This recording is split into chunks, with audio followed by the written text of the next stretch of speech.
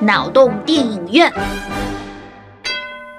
动作片里有哪些非常不靠谱的桥段？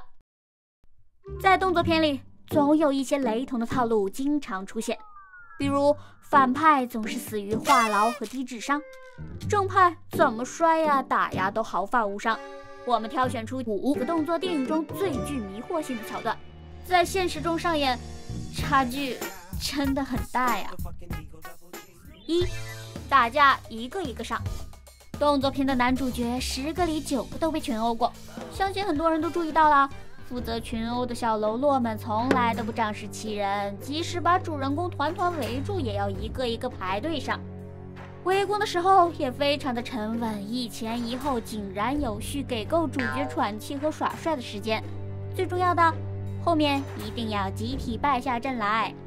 这个桥段的泛滥，导致我们很长时间以来都认为，高手以一当百是不成问题的。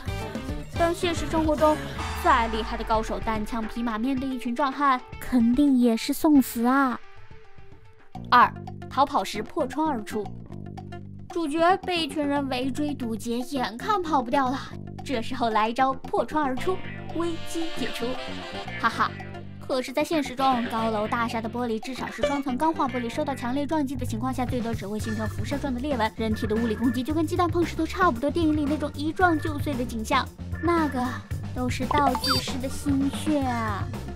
三，高空徒手接人，这个桥段一般适用于有 CP 出场的动作片，比方总是在关键的逃命时刻突然娇羞，死活不愿意往下跳。而另一方会肉麻的在底下保证：“别怕，我一定能接住你的。”然而，一个人从高空坠下产生的冲击力大约是他体重的十倍，等于好几百斤的重量，以自由落体加速度向下砸，只靠一个人徒手接的话，无疑是陪葬。四，开枪引爆汽油，汽油漏了，往上面开一枪，汽油着火，然后，嘣，嘣。但是我们都知道，燃烧的充分条件除了燃料，还需要达到燃点的热量和氧气。子弹打在地上，并不足以产生足够的热量点燃汽油。动作片里这么设定，纯粹是为了好看，总不能让演员突然蹲下来找打火机，对吧？五，电击心脏救命，重伤的人没有呼吸和心跳了，怎么办？上电机啊！这玩意儿的学名叫电除颤仪。当心脏的扩张和收缩出现问题时，会造成供血不足，人就会因为缺氧而死。这时就要靠除颤仪的电流把紊乱的心脏活动强行终止，配合胸外按压重新激活心跳，恢复到有节律的状态。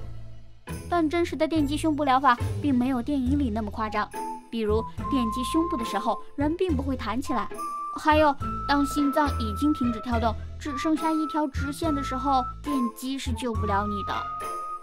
除此之外，还有一些公认的不靠谱桥段，往嘴里塞布吐不出来，模糊的图像细节通过处理变得超清，黑客入侵一台机器仅需几秒，等等等等。